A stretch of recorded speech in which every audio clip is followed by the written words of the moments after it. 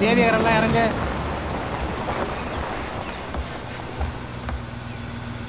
வாடா வீட்டுக்கு போயிட்டு வந்துடலாம். வா. இவ்வளவு தூரம் வந்துட்டு வரலன்னா மாமா வரலாமா? நீ. போயிட்டு வா. அப்புறம் பார்க்கலாம். முத முறை பொண்ணு கேட்டு வரப்போ உங்ககிட்ட நான் சொன்னேன். இந்த நினப்போட இன்னொரு முறை வீட்டு பக்கம் வந்துடாதன்னு. போறான் வரவெல்லாம் சொல்றான். குடிச்சிட்டு அங்கங்க ரோட்ல படுத்து கிடக்கான்னு. குடிக்கிறான் குடிக்கிறாங்கிறியே. ஏன்டா குடிக்கிறான்?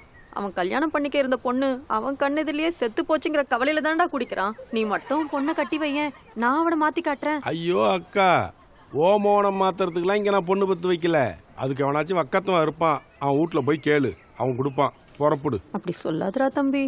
நம்பி குடுறா இனி ஒரு வார்த்தை அதை பத்தி பேசுனேன் அப்புறம் அக்கான்னு கூட பார்க்க மாட்டேன். என் தம்பி என்ன அசிங்கப்படுத்திட்டான்னு ஊரெல்லாம் போய் சொல்ல வேண்டியிருக்கும். மரியாதை கிளம்பு.